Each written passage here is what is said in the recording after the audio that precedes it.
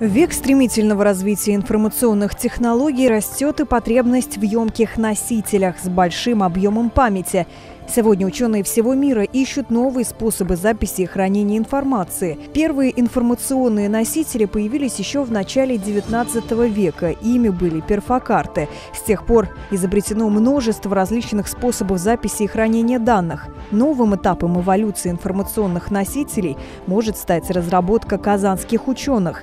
Здесь в лаборатории квантовой оптики, нанофотоники и оптической спектроскопии Казанского федерального университета разработали инновационные инновационный принцип записи информации, который позволит хранить колоссальные объемы данных на небольших устройствах. Мы предложили новый способ чтения оптической информации, используя конвенционный рассеяние света. Он подразумевает увеличение плотности э, записи информации. Это связано с тем, что мы э, используем впервые локализованный свет. Э, до этого обычно используют двухфотонное флуоресцентное поглощение – мы в наших исследованиях предложили использовать а, сжатый свет с помощью оптической наноантенны, где размер а, пространственного масштаба составляет примерно 10 нанометров. Течение двух лет ученые, аспиранты и магистранты КФУ работали над проектом совместно с коллегами из Гарвардского университета и Королевского колледжа Лондона. Теперь, когда исследователи получили фундаментальную разработку, на ее основе планируется создать прототип изделия.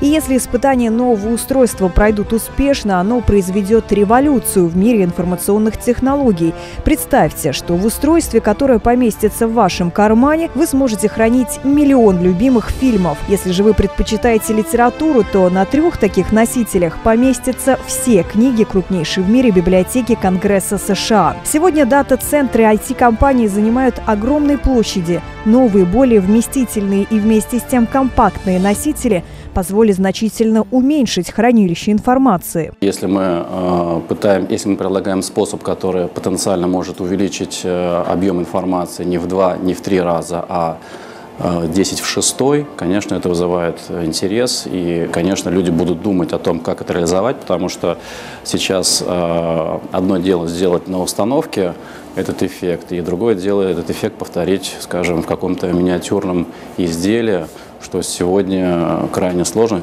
хотя бы потому, что современная память не должна содержать каких-либо движущих частей. Она должна быть миниатюрной, экономной, дешевой, и технологичные. Главный параметр, определяющий емкость информационного носителя, это плотность записи. Если современный жесткий диск записывает примерно 1500 гигабайт информации на одном квадратном дециметре, то в КФУ нашли способ записывать до миллиона гигабайт информации на квадратном дециметре.